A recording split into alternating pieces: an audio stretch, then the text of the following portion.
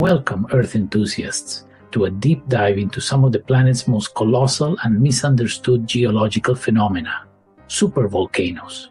If you've ever heard whispers of Yellowstone threatening to wipe out civilization or wondered what truly makes a volcano super, you've come to the right place. We're going to unravel the science behind these geological titans, from how they form to what they mean for our future, all while busting some myths along the way. So, what exactly is a supervolcano? It's not just a fancy name, it's a classification based on the sheer scale of an eruption. Most geologists, especially in the US, agree that a super eruption must rank an 8 on the Volcanic Explosivity Index. This means it ejects a minimum of 1,000 cubic kilometers of material. That's a lot of ash, pumice, and lava. To put that into perspective, the famous 1980 eruption of Mount St. Helens, which turned day into night in some places and blanketed 11 US states with ash, was a VEI 5, ejecting about 0.67 cubic kilometers of material. Imagine that, but 500 times stronger at a minimum.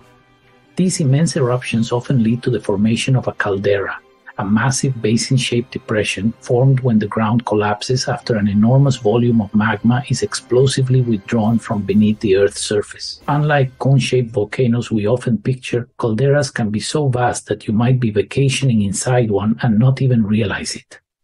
Yellowstone National Park is a prime example of this, encompassing one of Earth's largest active caldera systems.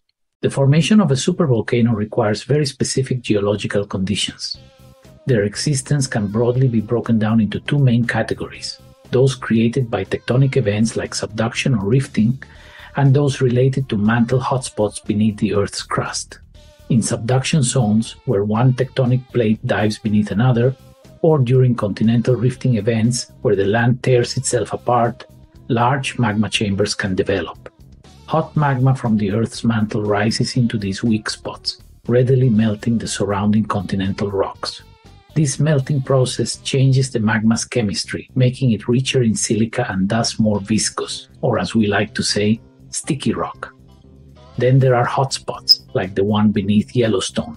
A hotspot is essentially a stationary area deep within the Earth where an abnormal amount of hot magma is upwelling in a plume like shape from the mantle.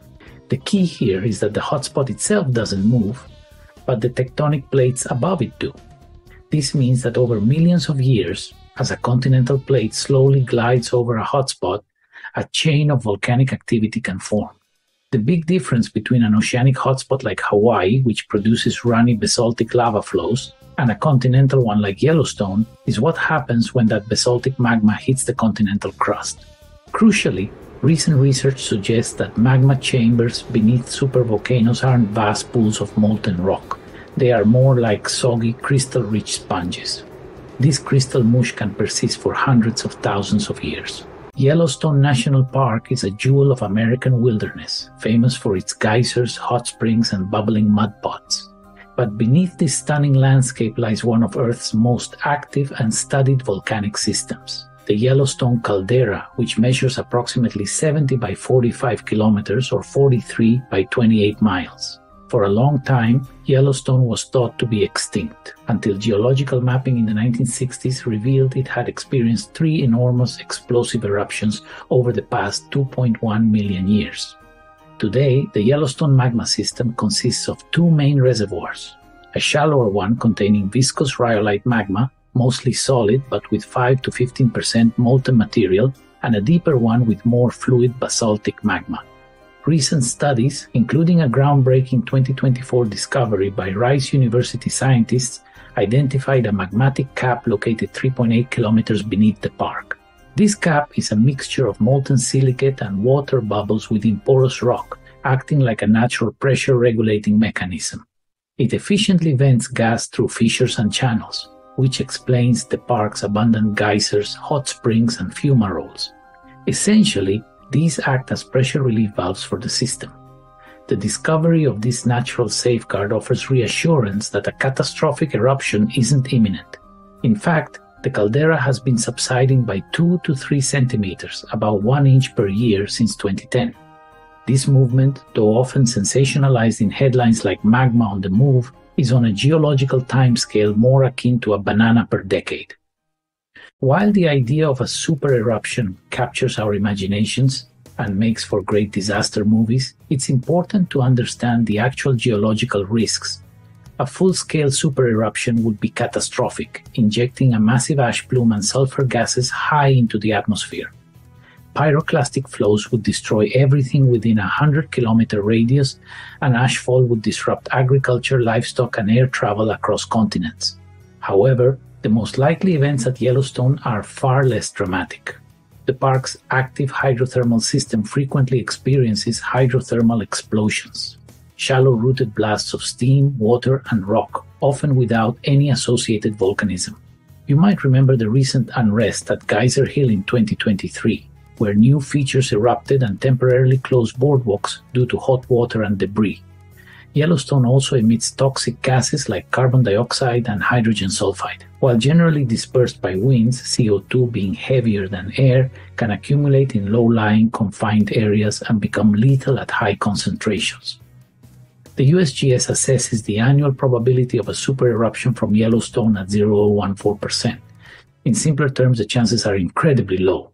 One of the most persistent myths surrounding Yellowstone is that it's overdue for an eruption. This idea often stems from a miscalculation. The three major caldera forming eruptions occurred roughly 2.05 million, 1.28 million, and 0.63 million years ago.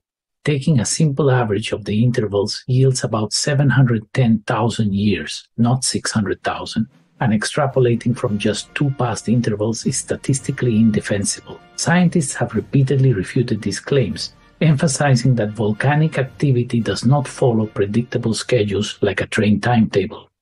So, how do scientists keep an eye on this overhyped but still fascinating geological marvel? The Yellowstone Volcano Observatory, a consortium of federal and state agencies and universities, continuously monitors the region. Seismic monitoring Yellowstone is one of the Earth's most seismically active networks. Thousands of small earthquakes occur each year, mostly below magnitude 3. Recent advancements using machine learning have allowed researchers to detect 10 times more earthquakes than previously recorded, providing unprecedented detail into subsurface magma dynamics. Ground deformation. Sensitive instruments like GPS receivers, strain meters, and tilt meters track minute changes in the ground shape. These subtle changes can reveal whether magma, gas, or fluids are accumulating beneath the surface. Geochemical monitoring. Scientists regularly sample hot spring waters and measure gas emissions from fumaroles to understand the chemical makeup of the fluids rising from deep within the volcano. They look for changes in gases like CO2, H2S, and especially the very rare sulfur dioxide, which is typically scrubbed by Yellowstone's hydrothermal system. New techniques. Researchers are employing cutting edge methods like magnetotellurics, which use Earth's natural electromagnetic fields to create precise maps of the magma chambers, as molten rock is an excellent electrical conductor. This comprehensive monitoring allows YVO to track the volcano's unrest, which includes large earthquakes, intense earthquake swarms, rapid ground displacement, and significant hydrothermal explosions. If monitoring parameters were to exceed known thresholds, YVO would issue an alert, but again, nothing of that magnitude is currently happening at Yellowstone. The public perception of Yellowstone as dangerous and on the verge of eruption is simply not backed by science. While the idea of a supervolcano captures the imagination, the reality of Yellowstone is far less sensational than often portrayed in media. It's a testament to the incredible power of our planet, but it's being watched closely. So, you can relax keep enjoying the geological wonders and maybe even relabel your magnets just in case the Earth's magnetic poles decide to reverse in a thousand years or so. Thank you for joining us on this geological journey.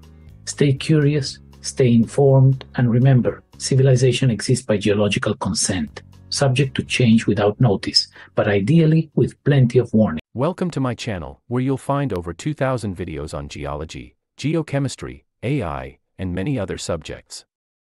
If you like what you see, help us grow by subscribing, liking, and sharing this channel. I think these videos are brilliant, and I'm sure you will like them too. Please like, comment, and subscribe. And don't forget to click the notification bell.